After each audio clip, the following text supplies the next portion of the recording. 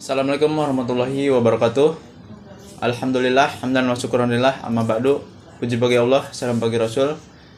Pada kesempatan ini, saya akan memperkenalkan diri saya. Nama saya Arif Rahman, jabatan sebagai pengurus Pondok Pesantren Al Husain.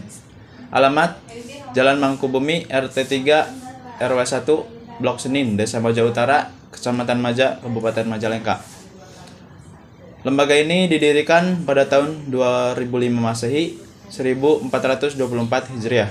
Adapun jumlah santri pada pondok pesantren ini yaitu 40 orang laki-laki dan 45 orang perempuan. Jumlah seluruhnya 85 orang. Pendiri pertama Pondok Pesantren Al Husain yaitu Kiai Haji Muhammad Ja'far Sidik pada tahun 2005 Masehi 1424 Hijriah. Adapun Dewan Kiai yang mengelola lembaga ini sebanyak dua orang.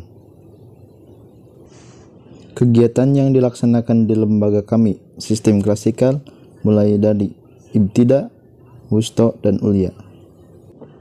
Adapun program unggulan yang dilaksanakan yaitu Al-Quran, Fikih, dan Kitab Kuning.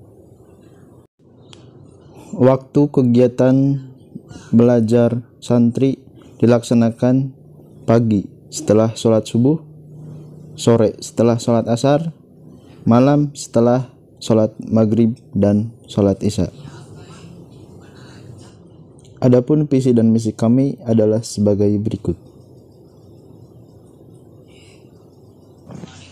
Untuk kemandirian masa depan santri, lembaga kami mengadakan jenis usaha peternakan untuk membantu menunjang kegiatan ekonomi santri. Perhitungan modal dari awal sampai akhir berkisar sekitar 26.500.000 rupiah. Untuk strategi pemasaran, dilihat produk peternakan yang Ponpes kami jalani, ayam cepat laku apabila dipasarkan ke masyarakat secara langsung dan didistribusikan ke pasar tradisional sekitar dan ke depannya Ponpes kami berniat mendistribusikan ke supermarket atau pasar modern. Kemungkinan besar keuntungan yang kami dapatkan dari hasil panen kisaran 10 juta 800 ribu rupiah per 60 sampai 90 hari. Dengan seiring berjalannya waktu, kami peserta OPOP 2021 mengucapkan banyak terima kasih kepada semua pihak yang telah memfasilitasi program ini. Demikian uraian singkat Pondok Pesantren Al Husain.